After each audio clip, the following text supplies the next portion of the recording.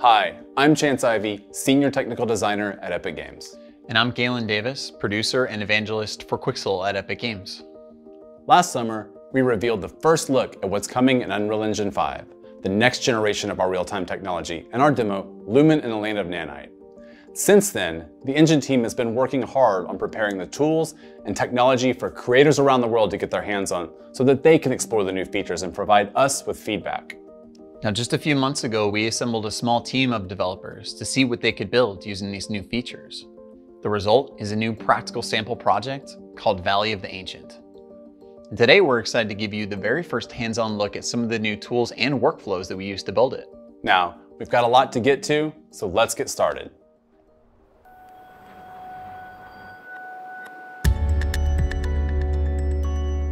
When setting out to make our demo, we wanted to push the boundaries of what's possible with UE5 today, while targeting next-gen hardware specifications. Here are sequences running in real time on PlayStation 5 and Xbox Series X.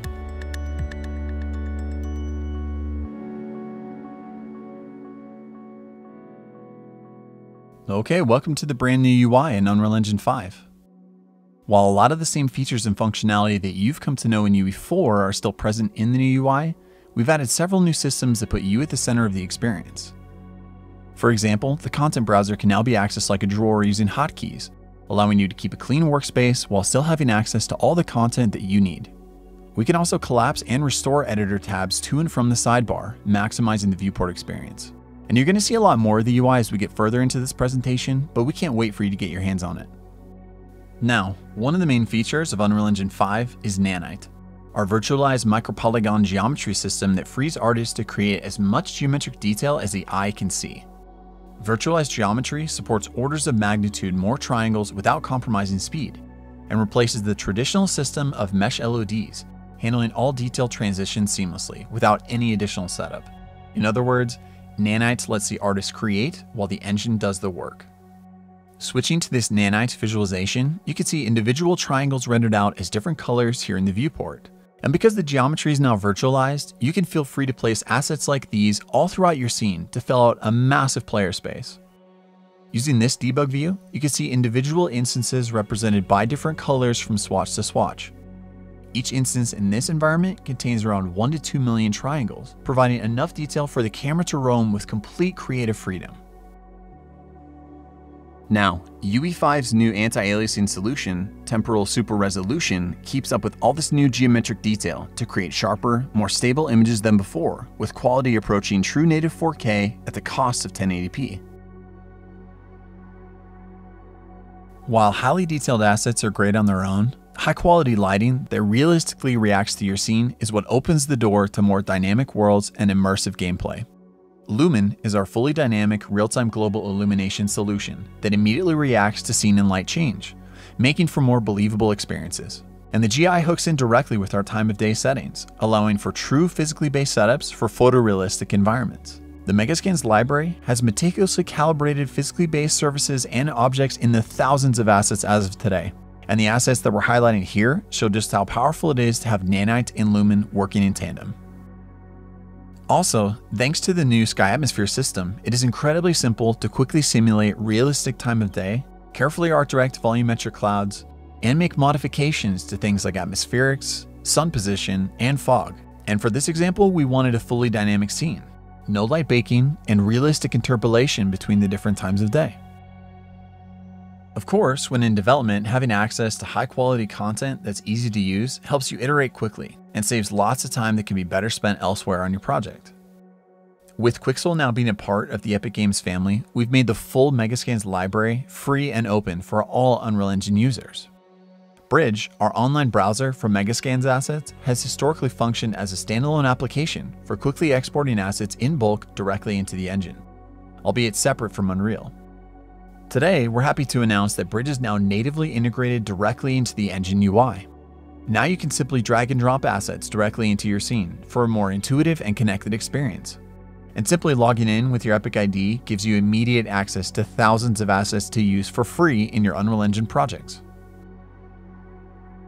We are constantly looking to enhance the value of the Megascans library. And today we're excited to announce that we're adding a brand new asset type called Mega Assemblies. Mega assemblies are the natural next step for us in removing even more barriers for artists in crafting their worlds. By combining existing assets from the Megascans library, our artists are pre-assembling elements that can be quickly accessed and leveraged to populate your scenes. Using the Moab set, let's add an assembly to our scene. And just like that, we were able to quickly change the composition of this area in our map. With UE5, we are reimagining what collaboration looks like for teams and projects of all sizes. A common challenge when collaborating on large worlds is deciding how to structure map content so that everyone on the team can easily work without asset contention, while also avoiding painful merge conflicts. A new system called World Partition makes traditional world building workflows obsolete by changing the way that we think about map files.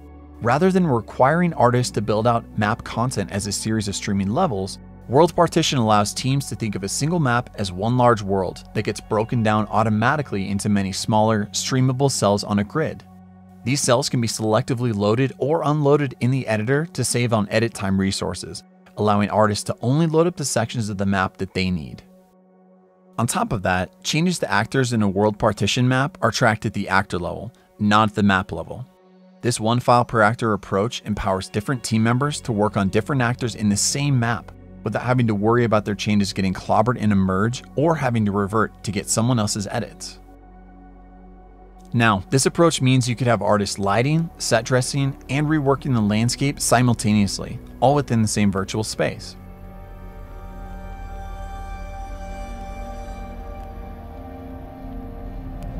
Managing this much content at runtime typically requires a ton of thought about how to stream relevant content in and out to stay inside performance budgets. Fortunately, World Partition handles that as well. At runtime, only the cells in a user-defined radius from our player are loaded, and as we move, new cells are streamed in, while cells no longer needed are replaced by their lower resolution, hierarchical level of detail, or HLOD version. And since all projects have different requirements, the cell size and loading radius are fully configurable to match each project's content streaming needs. Another feature that comes along with World Partition is data layers. Data layers are a way to categorize map assets and collectively enable or disable them when you want to alter the state of the world. Working in data layers, a separate group of artists was able to assemble a mythical reimagination of the environment, with more interactive elements for our demo. At runtime, we can swap between these two modes, streaming thousands of actors in and out, and enter into the dark world. Let's see this in action as we go back to Chant.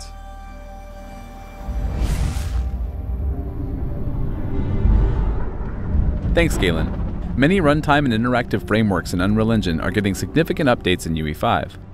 One thing we've added for animation is an experimental new full-body IK solver, which is designed to give you better results with less work. Here, you can see it in action as the rig for our player character, Echo, corrects itself to adjust for variations on the ground below her. It's deterministic, reliable, and around 10 times faster than before. To build and maintain more scalable gameplay systems, we've also added a new framework called Game Feature Plugins that will allow you to build and ship game content in a more modular way. With Game Feature Plugins, numerous core gameplay features can be built in parallel with better encapsulation and finer content organization.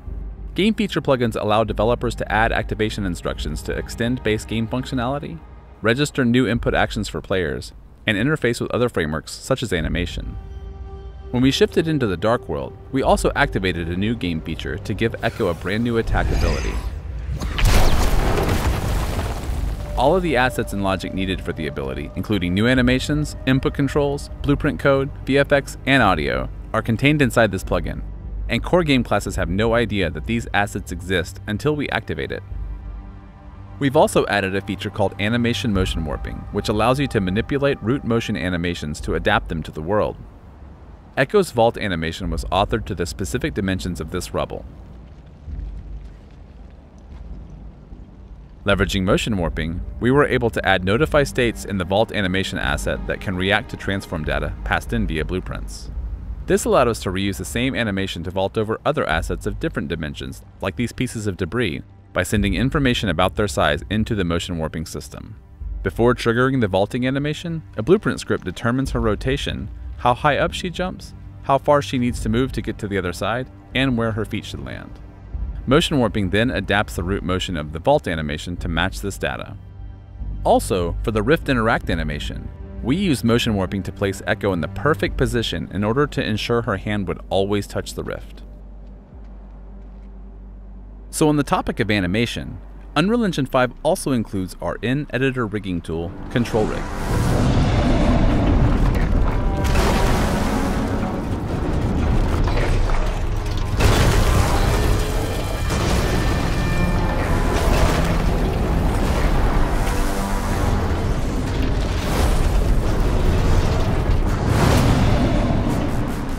Meet the Ancient, a film quality creature imagined and built by our friends at the Aaron Sims Creative Company.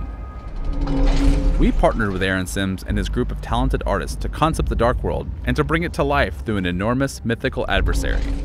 Now, every single animation for the Ancient was authored wholly in Engine by the Aaron Sims creative team using Control Rig and Sequencer, our linear cinematic animation tool. Also, just to push the boundaries a bit, they even built it out of a collection of nanite meshes totaling over 50 million triangles attached directly to the skeleton. Control Rig was designed to keep artists close to their creations without having to bounce back and forth between software packages, allowing them to quickly iterate, all inside Unreal. While imagining the battle between Echo and the Ancient, we wanted to give the creature a heavy laser attack that Echo would have to avoid. We needed it to track Echo's location in the arena and fire a slow, sweeping blast towards her. Taking advantage of the full body IK solver mentioned earlier, we were able to influence the direction and distance the Ancient reaches out during the firing animation, based on where Echo is in the scene. Let's see the results. Here is what the base firing animation looks like.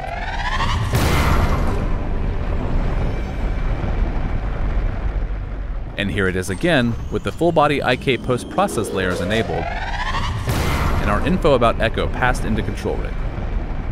With full body IK and Control Rig, designers and artists can now author fully dynamic animations that react to gameplay without having to build complex animation state machines composed of numerous animation assets.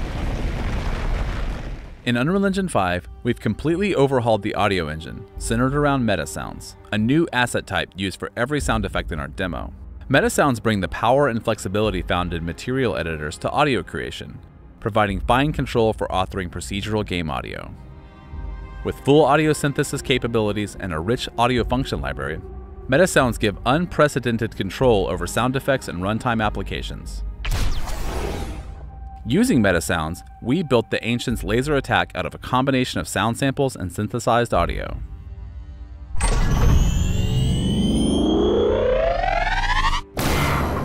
Let's briefly break down how it was set up. Using the stereo mixer, let's isolate and play just the synthesized charge sound.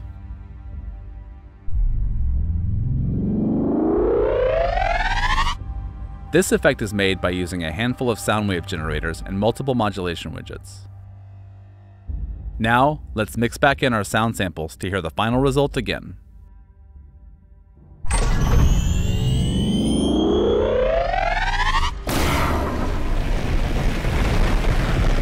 Alright, let's take down the Ancient.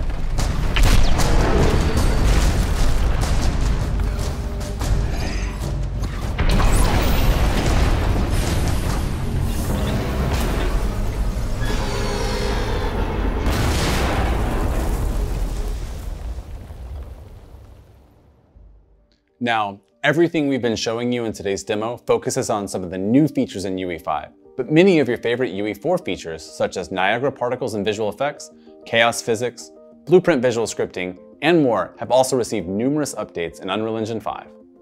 Plus, all your UE4 projects can be upgraded to UE5, so you won't have to worry about forward compatibility for what you're working on now. Here at Epic, we are passionate about building great tools and new technology, and a big part of our excitement is being able to bring you, the developer community, on the journey with us.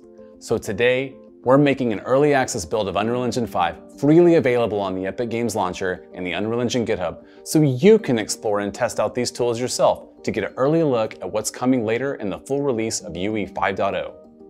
Also, we're releasing the project source for Valley of the Ancient, so you can check out how we use these features to build everything you've seen in today's demonstration. We've got a series of deep dive conversations on these topics lined up for Inside Unreal, our official weekly live stream, where you can hear from the engine dev team and ask your questions.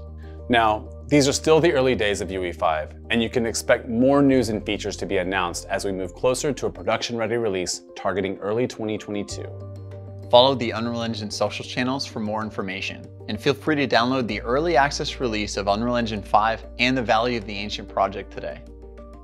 Thanks everyone for watching, and welcome to Early Access.